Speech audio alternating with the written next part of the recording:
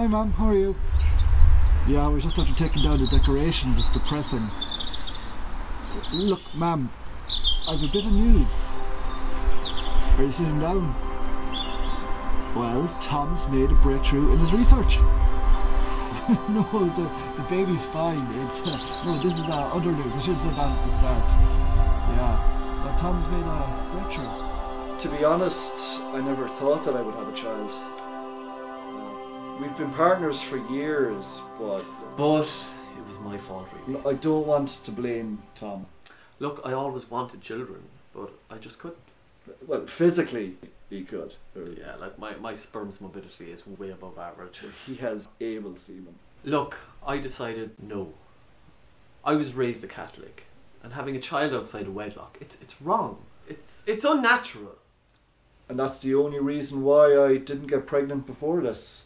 Now, I'm more of a lapsed Catholic myself, well, although sometimes I'm a bit of a prolapsed Catholic. Isn't that right, Brad? Really, Alan? Sorry, I, it's my hormones. We were partners for years. So after the marriage equality referendum, naturally we were first in line to get hitched. And once we were, we didn't waste any time trying for a baby. We were like rabbits, except, you know, gay men. Oh. I love being pregnant. I'm so happy, I'm glowing. Now, now I do have the usual ailments, uh, nausea, weird cravings, sensitive nipples, but I wouldn't change it for the world. Though I am looking forward to seeing my dick again. Do you have to be so crude? That's why you love me. Is it? Tom is the top researcher at Fairflux Limited, where they've recently had a breakthrough in time travel. No, darling. It's actually called temporal displacement.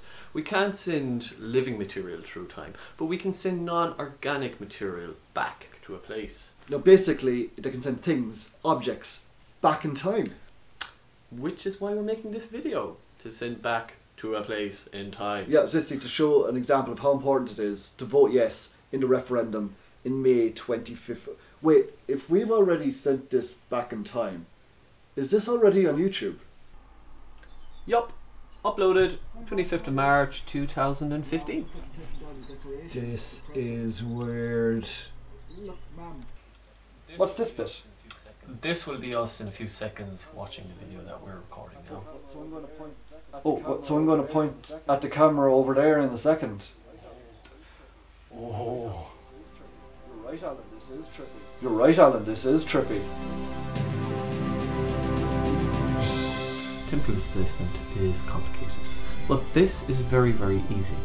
If you don't vote yes on May 22nd, we may never have a chance to start this family. Yes, please protect this future baby's future and vote yes to marriage equality.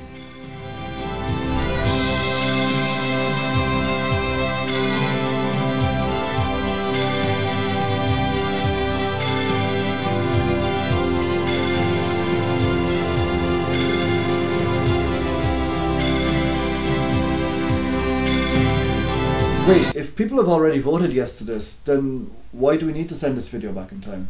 Well, maybe the only reason they voted yes is because they saw this video. Ooh, mind blown. Which isn't the only part of me you've blown. Jesus Christ, Alan!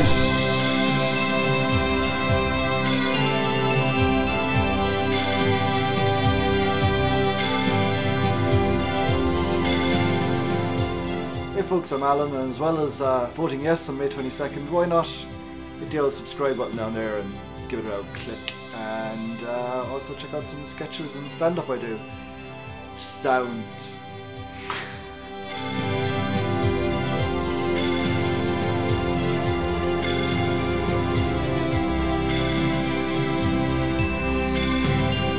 As a band.